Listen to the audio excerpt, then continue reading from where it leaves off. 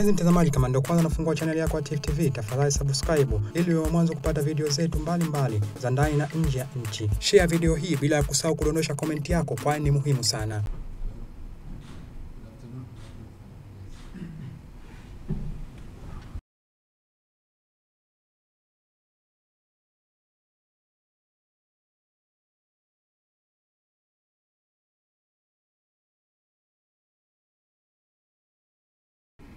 And the areas that you have mentioned, cardiac, cancer, and rehabilitation, are the most critical ones. And I believe if we start our cooperation in these three areas, uh, it will make a huge difference. So similar type of cooperation would work very well, and it will decrease the burden of us uh, spending. You know, we are not only spending for the patient, we are spending for the relatives as well, and uh, it's quite expensive. Uh, when we could do it locally by building our capacity here. So I want to take this opportunity to convey uh, our appreciation for the fact that you are ready to work with us, to cooperate with us.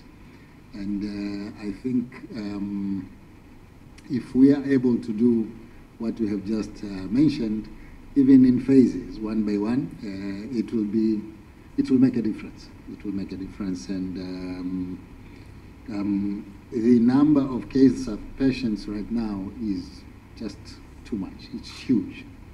We, we need to build the capacity of treating oncology. We have, we have to have oncology in all its, um, its um, treatment uh, methodologies.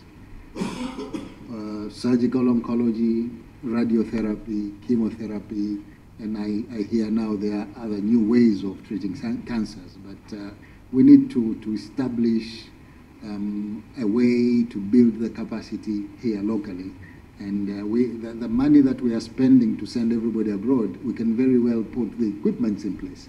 Set up a cath lab and to station staff here who can train uh, local resource uh, so that eventually um, any uh, opening up of the heart blood vessels if somebody has a heart attack or narrowed heart blood vessels needing stenting could eventually be done by uh, local uh, Zanzibar doctors themselves. But initially, in rotation, but permanently staffed, we will have people from India uh, managing the cath lab.